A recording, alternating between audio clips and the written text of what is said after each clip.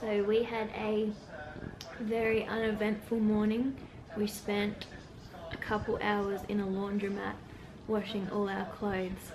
Um, so there was really nothing worth vlogging but now we are going to head back into Cardiff um, go to some tea rooms that I went to last time that was really nice and maybe check out the castle yeah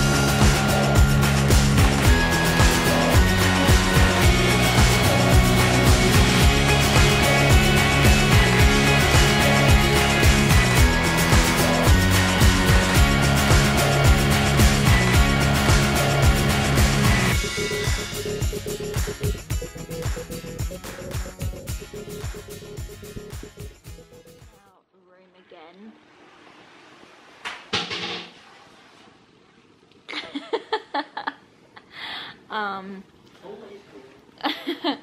after we walked around Cardiff Castle, we, what did we do? We went um,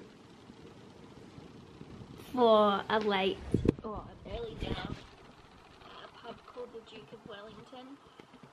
Um, and now I'm just letting my Cajun chicken go down before we go to that ghost walk tonight, and it is actually tonight.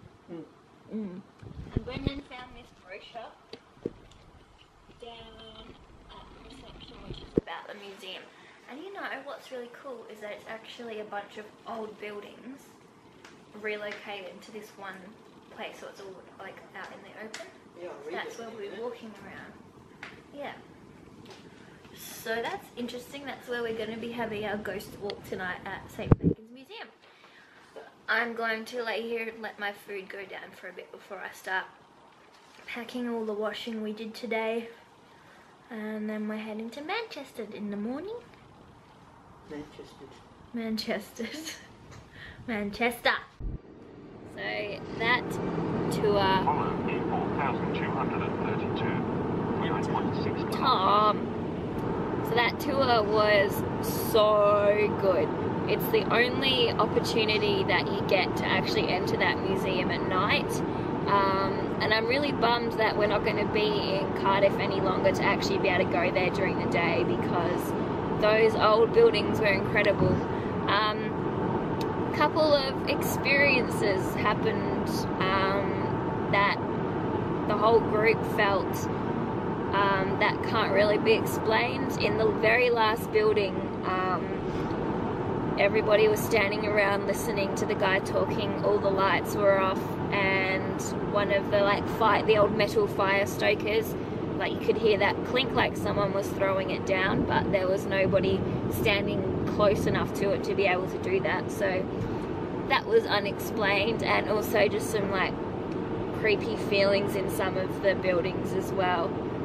Um, so I would definitely recommend that. I think it's it's a tour through a group called Cardiff History and Hauntings and the guy was such a good storyteller telling the history about all the buildings so I'm really glad we did that and even Brendan felt things didn't you? Yes. Yeah. So we're heading back to our hotel now and I need to pack and then we're heading off to Manchester in the morning. Thank